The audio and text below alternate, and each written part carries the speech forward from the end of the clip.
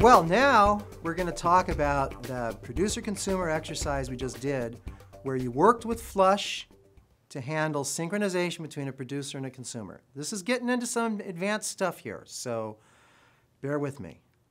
The code in particular that we worked with, inside that file prod underscore cons.c, producer consumer. All right, very simple. We have one function that's going to fill an array of random values, another function that's going to sum them. So of course, you got to wait until the fill is done before the sum can continue. That's what we're going to do right here. All right, so this is going to require something called pairwise synchronization because you have a distinct pair of threads that need to synchronize, need to coordinate what they do. OpenMP does not have any built-in pairwise synchronization.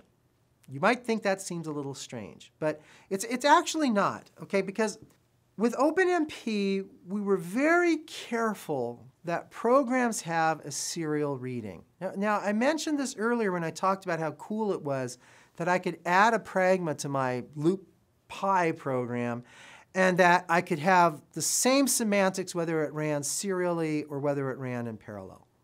The second you have built-in pairwise synchronization, you're now creating programs that don't have a serial reading. It's just the algorithm fundamentally breaks if you try and run it serially.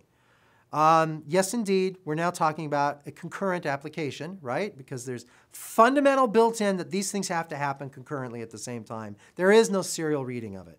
Okay, and OpenMP was not built for concurrent applications. It was built for parallel applications. So it wasn't an oversight that OpenMP doesn't have built-in pairwise synchronization. It was by design. So what we're doing here is we're doing something unnatural and twisted to OpenMP. So how do we do pairwise synchronization in OpenMP? So I'm going to tell you. I'm going to define a flag variable. So a variable, I'll, I'll even call it flag so we can keep it straight. All right? The reader is going to do something called a spin lock. So what it's going to do is it's going to spin, which basically means an infinite loop, checking the value of flag.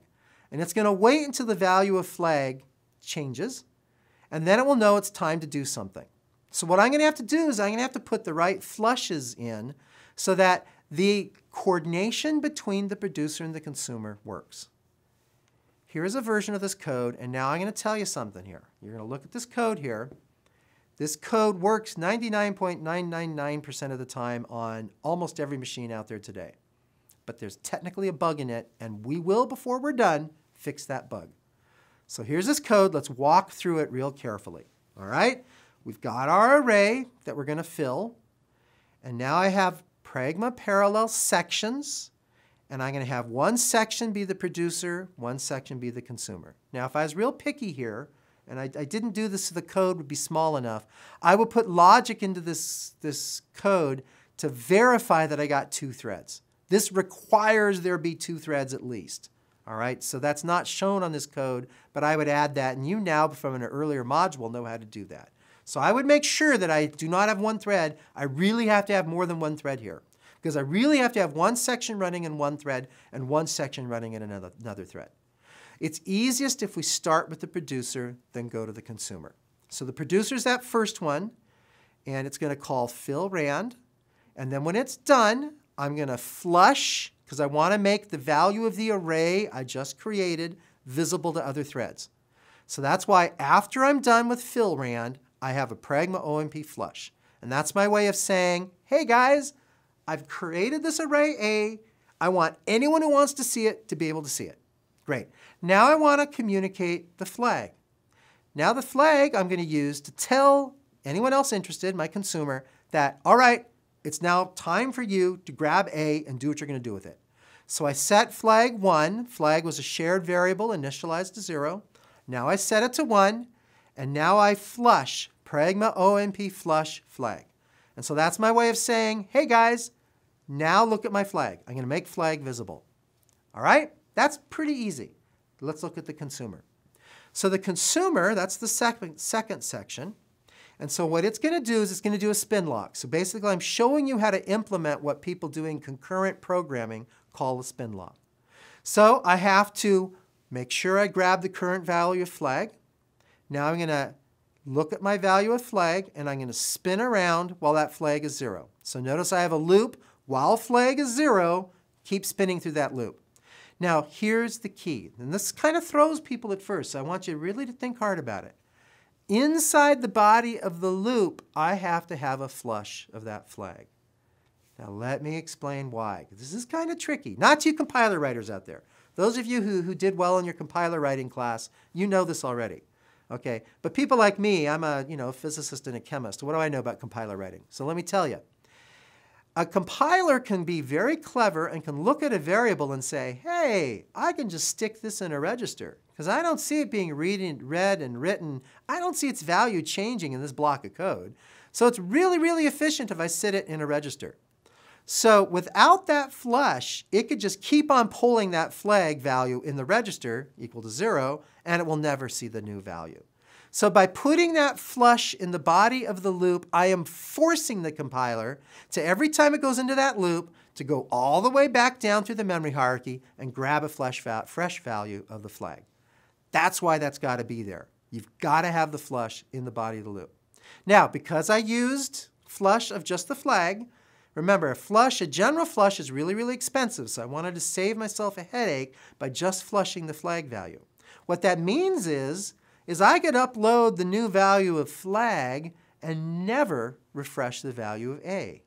Remember, flush sets, if they're a non-overlapping flush set, they can move past each other. So after the loop, when it's seen the value of flag change, I have to do one more flush, but now it's a flush without a, a list, so I'll flush everything and pick up flag. And now I can do my consumption of that array A. All right, are you with me? I'm going to give you a couple seconds look at this and think about it. All right, there's one and only one reason why this program works. And this, by the way, works. Now, if there's a memory model purist, they're jumping up and down and turning red and foaming at the mouth right now. The reason this program works is because you notice the consumer and the producer don't care what the value of flag is. All they care is when it stops being equal to zero. So I don't need to worry about if I pick up an incompletely updated value of flag. So I submit, even though this program technically has a race, and it has a race on what is the actual value of flag when the consumer checks it. And it does because I did not protect the updates and reading of flag. So we'll get to that in a second. But this program's almost always going to work because all I'm looking for is is flag not zero. So if I have a trashed, incompletely updated value of flag from the producer to the consumer, I'm still going to get that while loop to drop out and things will still work. But this program technically has a race. How are we going to fix that? Let me show you. Atomics. Remember long, long ago in our childhood when I told you about the atomic is sort of a lightweight critical section. And that was true. But the atomic didn't quite do everything that you might want it to do, particularly if you're into writing these kinds of low-level synchronization type codes. Atomic didn't go anywhere near far enough. So what we did in OpenMP 3.1 and since then is we added more versions of Atomic. So now you have these arguments you can pass to Atomic. You can have an atomic read, an atomic write, an atomic update, and an atomic capture. All right? And basically, if I went through and spent a long time going through each and every one of these, it would take a long time, and I'm not sure how valuable it is. So I'm just going to point out a few of the key added features of these atomics that we're actually going to use. So what atomic read does is it says that I either do this complete read, this complete load, or I don't do it at all. I can't possibly have an incomplete load. All right? So in this example, I have v for variable equals x. That means I can't see v equal to half the upload of x. I can't see it equal to just 90% of the upload of x. No, it's going to see the whole update of x or it's not going to see it at all. So I'm protecting that read of x. Okay, write does the same thing. It's going to um, it's to store a value into the variable x but it does it atomically. And atomic means it happens all the way or not at all. So I will either not see the update to x, or I will see the complete update to x. And there are these other atomics as well. But now if we look at my code, and now we can see the total race-free, correct version of this program. And you can see that what I changed here is I've now protected the updates, the write and the read of flag. So bear with me here. Just like before, I've got a Pragma OMP sections. I've got the parallel, so I've got at least, and I, and I, and I would verify that there are at least two threads. Okay, I'm going to have one section be the producer, one section be the consumer. Now let's start with the producer. I have the Pragma OMP flush because I've finished my production work. I've finished filling that array A. Now I'm going to do the atomic write of flag.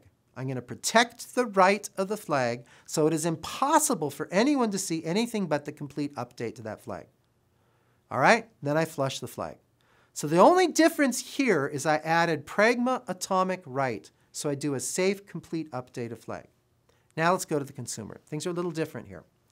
Now what I've done is I've changed the code a little bit so I actually care what value flag has. I care that the value of flag is equal to 1. All right, so I have my while loop, but this time notice I made the while loop an infinite loop, while 1. All right, so I'm putting the logic of exit inside the loop. So now I'm going to do a flush, so I get a fresh value of the flag. And now I'm going to do an atomic read. So I either see the complete read or no read at all to get a temporary value of the flag. And then when that equals value 1, I break out of that infinite loop. Okay?